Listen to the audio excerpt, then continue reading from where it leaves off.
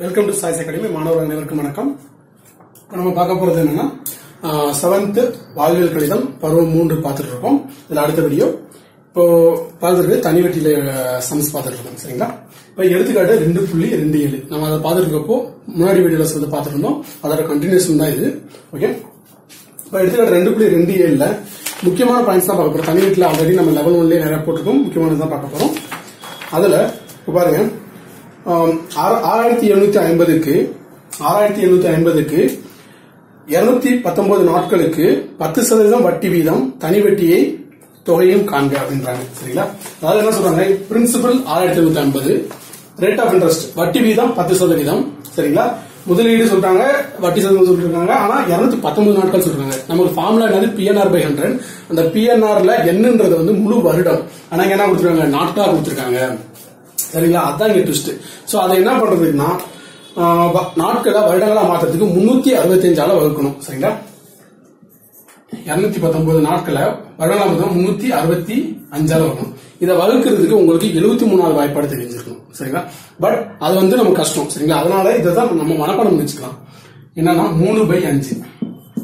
இவர்கள் இந்த புக்கில் உங்களுக்கு தெரியுமா? உங்களுக்கு தெரியுமா? அப்படின்னு கொடுத்து இரநூத்தி முன்னூத்தி அறுபத்தஞ்சு நாட்கள் ஒரு வருடம் நமக்கு தெரியும். இருநூத்தி பத்தொன்பதுங்கிறது வந்து மூணு பை ஐந்து ஆண்டுகள். எழுபத்தி மூணு நாட்கள்ங்கிறது ஒன்னு பை ஐந்து ஆண்டுகள். சோ எதை மனப்பாடம் பண்றீங்களோ இல்லையோ இந்த ரெண்டு மட்டும் மனப்பாடம் பண்ணிக்கங்க. இருநூத்தி பத்தொன்பது நாட்களையும் எழுபத்தி மூணு நாட்களையும். இருநூத்தி பத்தொன்பதுங்கிறது மூணு பை அஞ்சு எழுபத்தி மூணுங்கிறது ஒன்னு பை அஞ்சு. இருநூத்தி பத்தொன்பதுங்கிறது மூணு பேஜ் கீழே பாருங்களேன் அந்த ஒன்னு மூணு எல்லாமே ஒற்றைப்படை என்ன வந்திருக்கு? சோ கீழே அஞ்சு இருக்கிறத ஞாபகம் வச்சுக்கோங்க. எழுபத்தி மூணுங்கிறது ஒன்னு பை அஞ்சு இருநூத்தி பத்தொன்பது வந்து மூணு பை அஞ்சு. அதை மட்டும் இந்த மனப்பாடம் பண்ணிக்கோங்க. மனப்பாடம் பண்ணிட்டீங்கன்னா இந்த மாதிரி மூணு இருநூத்தி பத்தொன்பது நாட்கள் இருந்துச்சுன்னா நீங்க இதெல்லாம் பண்ணவே தேவையில்ல. நேரா வந்து இன்ட்ரெஸ்ட் வட்டி வட்டி என்ன வேணும்னா தனி வட்டி பிஎன் ஆர் பை ஹண்ட்ரட் நேரா அப்படி வந்துடலாம் பி வேலையை போட்டுடலாம் என்ன வேலையை போட்டுடலாம் ஆறு வேலையை போட்டு அடிச்சு போட்டு ஈஸியாக போட்டுடலாம் சரிங்களா? ஸோ இதை மனப்பாடம் பண்ணும் அப்படின்றதுக்காக தான் இந்த சம்ம நான் உங்களுக்கு எக்ஸ்பிளைன் பண்ணேன். மற்றபடி இதை அடிச்சு போடுறதுல நீங்களே போட்டுப்பீங்க. ஓகே இப்போ அடுத்த சம் பாருங்க. என்னன்னா அடுத்த என்னன்னா ராகுங்கிறவர் வந்து நாலாயிரம் ரூபாய் சம்மன் நீங்க படிச்சு பாத்தீங்க எடுத்துக்காட்டு ரெண்டு புள்ளி ரெண்டு எட்டு. ராகுல் ஏழு ஆறு ரெண்டாயிரத்தி ஆறு. அன்று நாலாயிரம் ரூபாயை வாங்குகிறார்.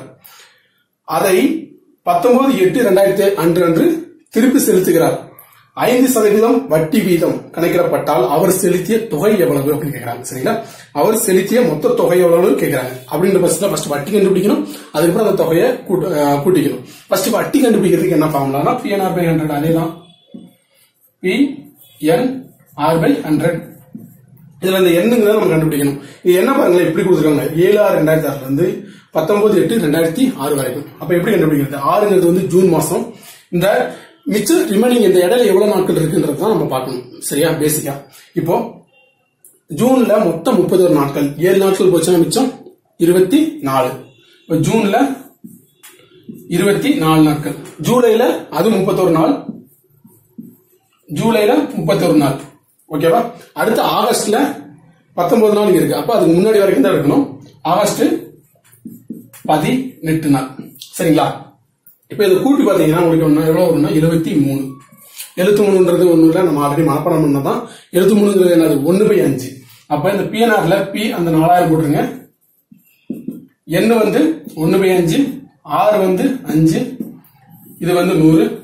சிம்பிளா அப்படியே அடிச்சு போட்டுடலாம். அடிச்சு போட்டுட்டு மிச்ச வர அமௌண்ட்டை வந்து இதோட கூட்டணும். சரிங்களா? கூட்டினா எவ்வளவு வரும்? இது புறணா போட்டுக்கோங்க. அதாவது இன்ட்ரெஸ்ட் எவ்வளவு வருது? அஞ்சு அஞ்சு அடிச்சு போட்டு நூறு நூறு. நாற்பது அதை வந்து நீங்கள் அதோட கூட்டிக்கலாம். கூட்டினா எவ்வளவு கிடைக்கும்? உங்களுக்கு மொத்தம் அவர் எவ்வளவு செலுத்துறாருன்னு தெரிஞ்சுக்கணும். இப்போ நான் அதில் சொல்ல வர பாயிண்ட் என்னன்னா இந்த பிஎன்ஆர் பை ஹண்ட்ரட் எனக்கு தெரியும் சார் வட்டி கண்டுபிடிக்க தெரியும். வட்டி வந்து அமௌண்டோட கூட்டினா மொத்த அமௌண்ட் வருதுன்னு தெரியும். இந்த நாட்கள் மட்டும் தான் தெரியாது. நீங்க சம்பளம் போய் நேரா பாக்குறப்போ கண்டிப்பா இந்த இதை நீங்க பார்க்காத இந்த வீடியோ பார்க்காதவங்களோ இந்த புக்கில் அந்த பாயிண்ட்டை பார்க்காதவங்களோ நேரா போறப்போ அந்த இடத்துல நீங்க அந்த டைம் வேஸ்ட் பண்ணுவீங்க. அதனால இருநூத்தி பத்தொன்பதுங்கிறது மூணு பை அஞ்சு எழுபத்தி மூணுங்கிறது ஒன்று பை அஞ்சு இரநூத்தி பத்தொன்பது வந்து மூணு பை அஞ்சு அதை மட்டும் மனப்பாடம் பண்ணிக்கோங்க ஓகேவா அதை வச்சு இந்த சம்மை அழகா போட்டுடலாம். இதை இந்த வீடியோ பார்த்துட்டு அந்த செம்மை நீங்கள் போய் ப்ராக்டிஸ் பண்ணி பாருங்க. அப்பதான் கரெக்டா ஒர்க் அவுட் ஆகும். அடுத்து ரெண்டு புள்ளி முப்பத்தொன்னு. அடுத்து ரெண்டு எடுத்துக்காட்டு இருக்கு. அது ரொம்ப ஈஸி தான். அதை போட்டு பாருங்க. அடுத்து எடுத்துக்காட்டு ரெண்டு புள்ளி மூணு ஒன்று ஒரு குறிப்பிட்ட அசலானது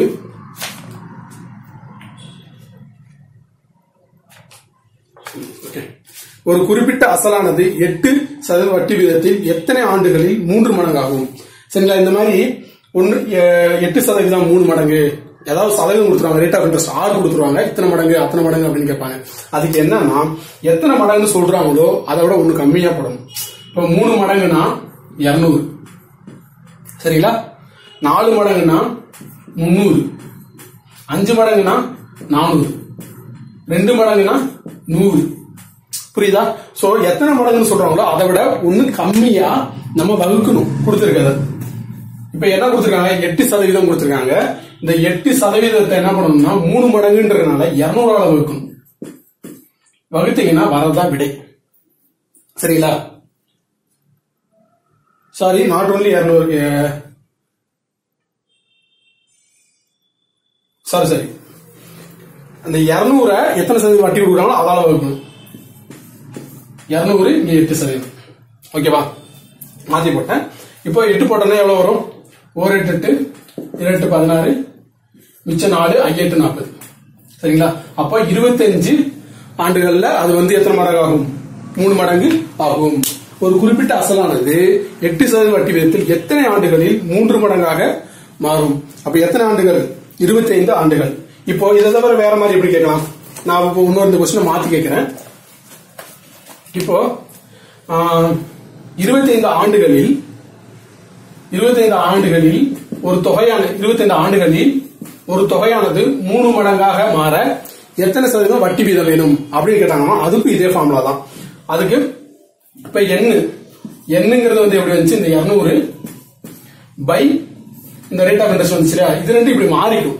இந்த ரெண்டும் ஆண்டுகளும் சரி இந்த வட்டி வீதமும் சரி ஒன்னு ஆண்டு கொடுத்து வட்டி வீதம் கேட்பாங்க. வட்டி வீதம் கொடுத்து ஆண்டு கேட்பாங்க. ஆனா வந்து இதை ரெண்டையும் மாத்தி மாத்தி போட்டா நீங்க ஆன்சர் கண்டுபிடிச்சிடலாம். இப்ப பாருங்க. இந்த கணக்குல எனக்கு ரேட் ஆஃப் இன்ட்ரெஸ்ட் வேணும். மூணு மடங்கு. மூணு மடங்கு எத்தனை போடுவேன்? இருநூறு. சரிங்களா? அப்போ அந்த ஆண்டை வந்து கீழே போடுவேன். எட்டு சதவீதம். அவ்வளவுதான். அதாவது என்ன சொல்ல வரேன்னா திருப்பி ஒன்னோட சொல்றேன். ஏன்னா மேபி குழம்பு இருக்கலாம் சில பேர். இப்போ இந்த கணக்குல ரெண்டு புள்ளி மூணுல கொடுக்குறாங்கன்னா எட்டு சதவீதம் வட்டி வீதம். எட்டு சதவீதம் வட்டி வீதத்தில் ஒரு ஒரு ப- பணம் வந்து மூணு மடங்கா ஆகுது. அப்படின்னா எத்தனை வருடத்துல ஆகுது அப்படின்னு கேக்குறாங்க. அதுக்கு என்ன பண்ணணும்னா அந்த வருடம் என்னங்கிறது வந்து மூணு மடங்குனா இருநூறு ஒன்னு குறைச்சிக்கணும். மூணு மடங்குனா இருநூறு ஒரு இது குறைச்சிக்கணும். நாலு மடங்குனா முந்நூறு அஞ்சு மடங்குனா நானூறு அந்த மாதிரி. சரிங்களா? ஒன்று குறைச்சிக்கணும். அதுக்கப்புறம் என்ன ரேட் கொடுக்குறாங்களோ அந்த ரேட்டிங்க போட்டுக்கணும். கொடுக்கணும் சரிங்களா? கொடுத்தீங்கன்னா இருபத்தஞ்சு ஆண்டுகள். இதுவே இது ஒரு கணக்கு.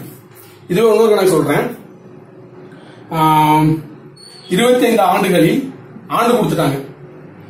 அதே மாதிரி மூணு மடங்குன்னு கொடுத்துட்டாங்க. ஆண்டு கொடுத்துட்டாங்க மூணு மடங்குன்னு கொடுத்துட்டாங்க.